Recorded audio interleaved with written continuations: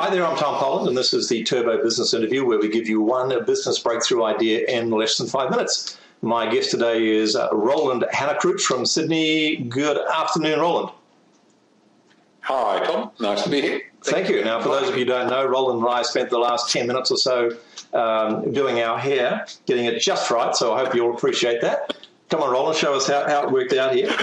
Yeah.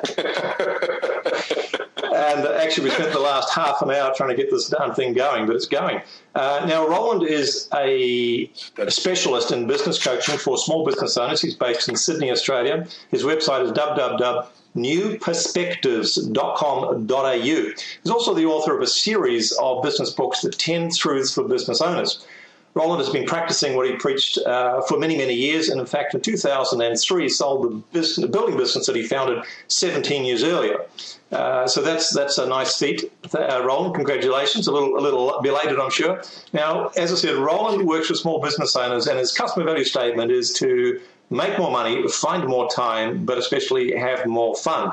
Now, Roland, I've got uh, four or five questions for you, and as you probably know, you have five minutes or less, and I will start the timer on a tickety boo, and once the buzzer goes off, I will cut the recording whether you are in full flight or halfway through a sentence. Are you ready to accept that challenge?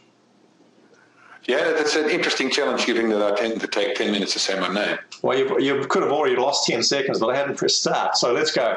All right, the subject is having fun in business. You've got four minutes and 55 seconds to go. You're saying that because if you, if you focus on what, what do you back the truck up? Sorry, I've just wasted five seconds. Sorry about that. what, what? Tell me about your angle of having fun in business. What, what, what's what's your what's your kind of what's your take or your positioning on that? Well, the thing about fun is um, that it's a that it's that it's potentially something you can measure that cuts through all the other KPIs of business. So. Uh, a fun business is a, is a business that makes fun, uh, that makes that makes money. It's a business that has clients who are engaged. It means that it has staff who love what they're doing. It means that you're proud of what you're doing. It's that's all fun. That's the that's the real fun I'm talking about. It's not, not the fun of putting funny hats on and having having having Friday casual Fridays and paintball with the, with the team. It's the fun that comes from signing a fantastic contract. So so yeah, I mean I get that. If you're if you're making money if your team's happy, if your clients love you, uh, if you're proud of what you're doing, you, and you can lie straight in bed at night knowing that you delivered exceptional value, that's fun. There's no question about that. That's fun. Yeah, okay. Now, there's going to be a whole lot of business owners. Say again? And it's fun that lasts. Sustainable fun. In, yeah. environmentally friendly fun.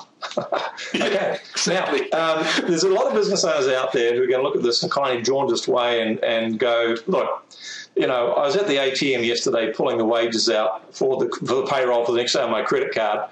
And uh, I've just had two major orders cancelled. I've got a teammate that didn't turn up. I've got to fill in for them. And I feel like I'm trying to drain the swamp while I'm fighting the cro- uh, crocodiles off or alligators, depending on where you are. Yeah. What do you say to them about having fun? Well, well, yeah.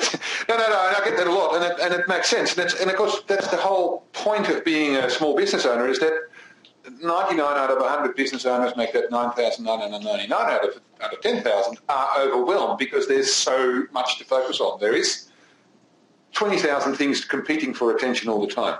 And how do you how do you pick which one to focus on at this moment, this week, this month, this year?